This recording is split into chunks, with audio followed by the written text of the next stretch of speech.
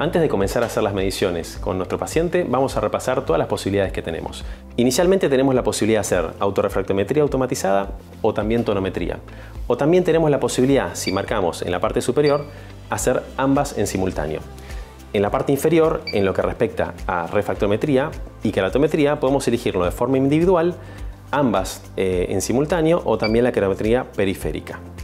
Posteriormente a eso tenemos la opción de auto-tracking, donde la primera opción es la opción manual, opción en dos dimensiones que nos va a permitir hacer el, el seguimiento en horizontal y vertical, o sea, derecha, izquierda, inferior, superior. La opción en 3D, que le va también a sumar la profundidad, o sea, nos va a permitir alejarnos o acercarnos al paciente.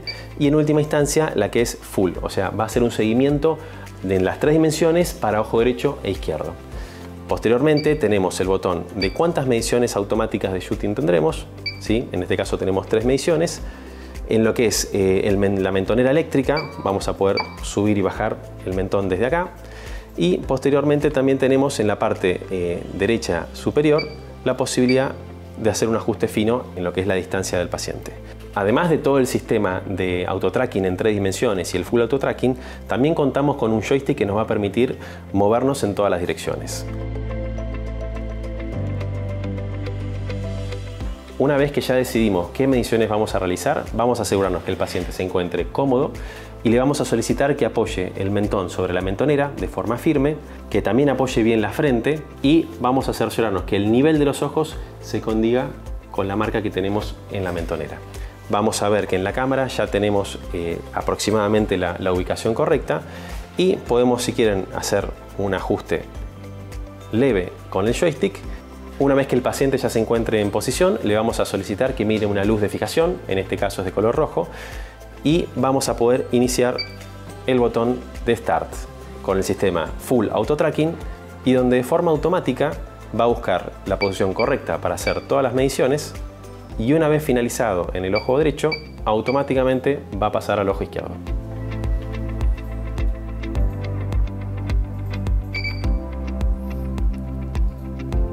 Ahí está comenzando la medición en el ojo izquierdo.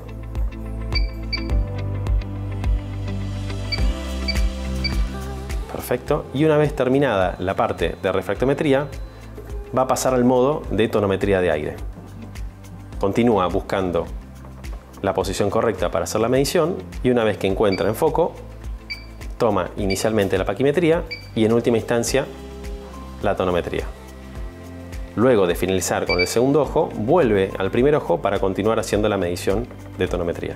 Como pueden observar, el sistema Full Auto Tracking no requiere de una intervención del operador.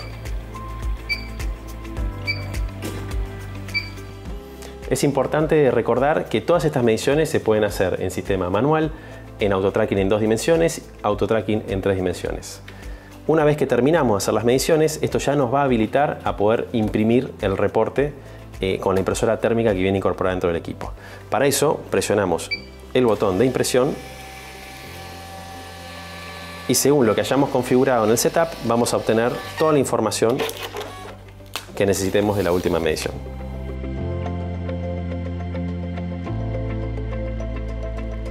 Para hacer una autorrefractometría vamos a seleccionar la opción RK, vamos a destildar la opción RK más NT colocamos la opción queratometría y refractometría y podemos colocar el sistema de full auto tracking con un sistema de auto shooting de tres mediciones.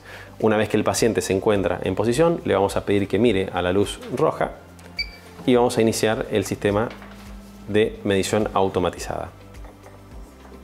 El momento que encuentre al paciente en posición, va a ser las tres mediciones automáticas de queratometría y refractometría.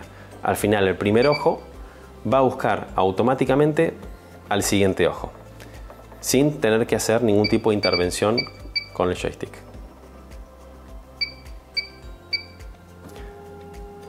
Una vez finalizado, ya tenemos nuestra autorrefractometría concluida.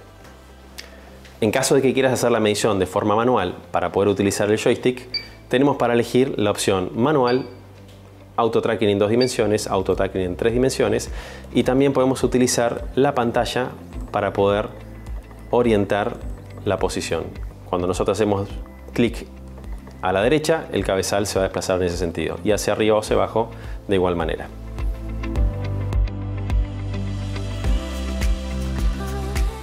En el momento que queramos tomar la medición de queratometría periférica, lo vamos a seleccionar en el menú inferior izquierdo y una vez que tenemos al paciente en posición, abrimos bien grande el ojito, vamos a ir tomando temporal, superior, nasal e inferior.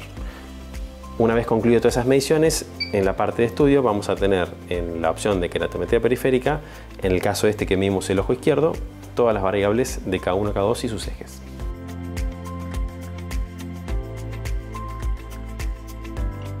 En caso de que querramos realizar solamente la tonometría y paquimetría, vamos a seleccionar en pantalla la opción NT.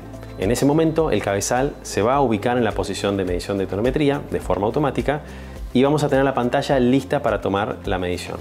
En este caso, en la parte inferior tenemos la opción de tonometría sola, paquimetría sola o ambas como vamos a hacer en esta oportunidad.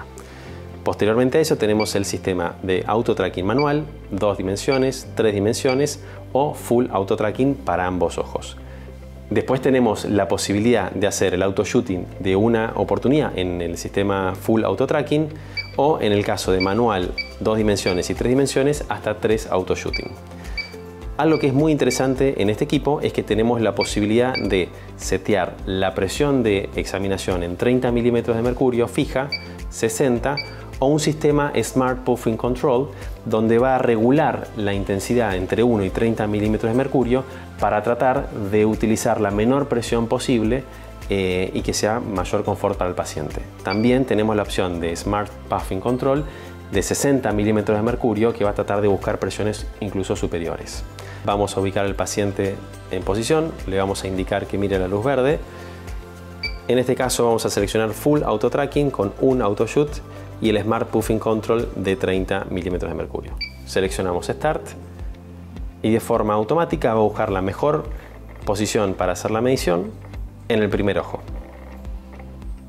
Toma la paquimetría e inmediatamente después va a tomar la tonometría. Una vez que finaliza en el primer ojo, se va a dirigir automáticamente al segundo ojo, donde también va a buscar la mejor posición para hacer la medición de paquimetría toma la paquimetría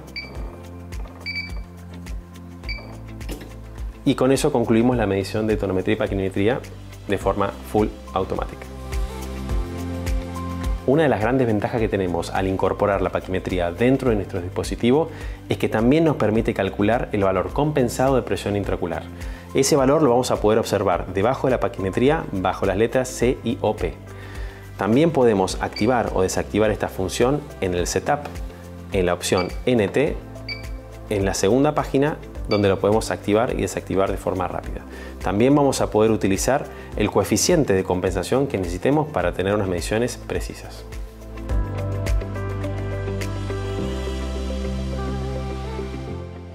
Para tomar las mediciones adicionales que tiene este equipo, vamos a presionar el cuarto icono de abajo a la izquierda y se nos va a desplegar un menú donde vamos a tener la primera opción, color. Si le damos clic ahí, vamos a activar la cámara color para hacer fotografías del segmento anterior.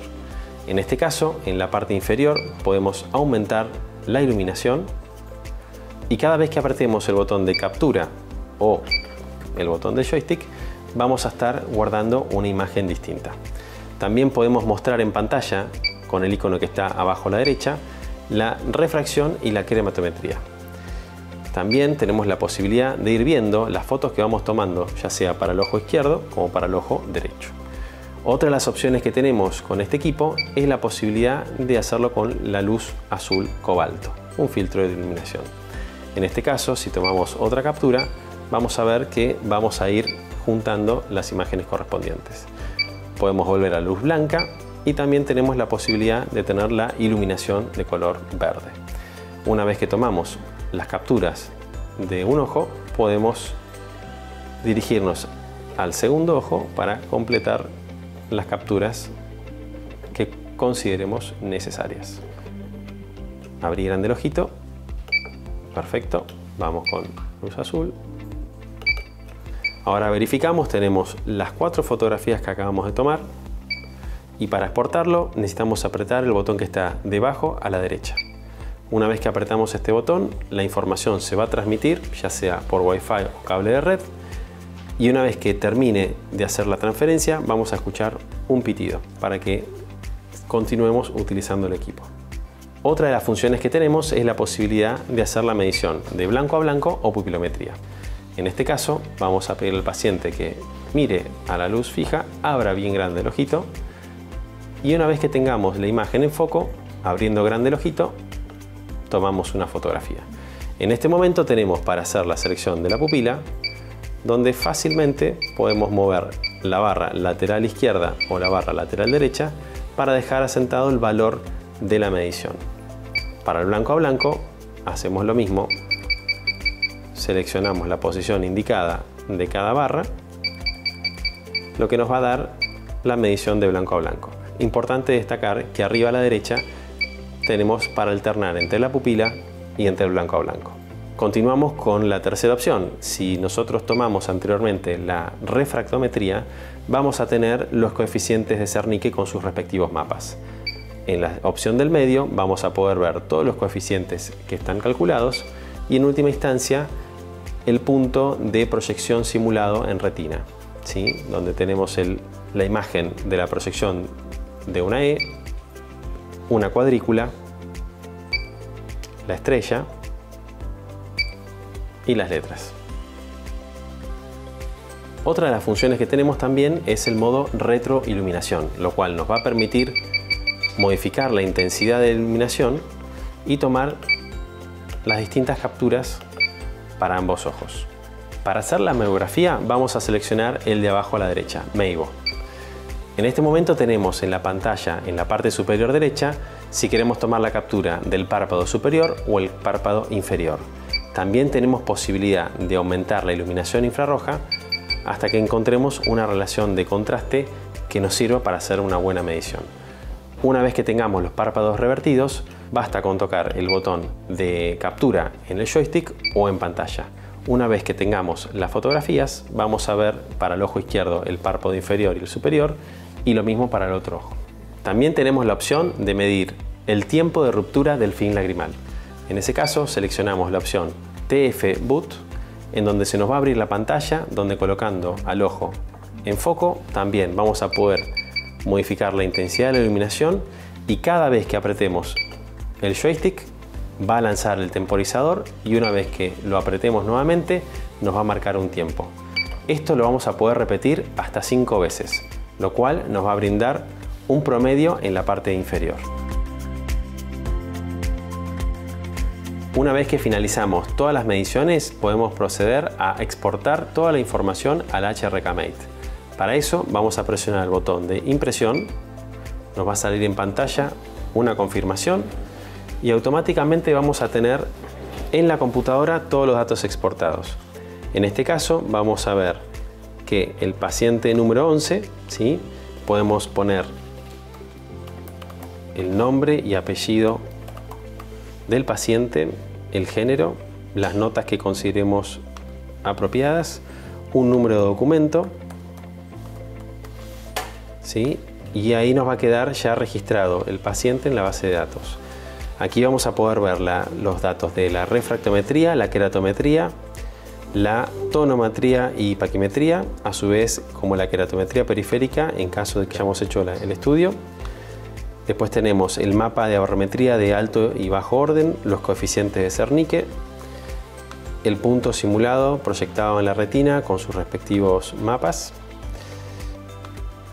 Tenemos también eh, las cuatro imágenes que tomamos de retroiluminación, las imágenes que tomamos a color, en este caso solamente con el filtro azul, también eh, la meografía para los párpados inferiores y posteriores, estas imágenes son a, título de referencial, y también los estudios del tiempo de ruptura de la película lagrimal, ¿sí? donde también nos va a marcar el tiempo que nosotros seleccionamos con el contador correspondiente.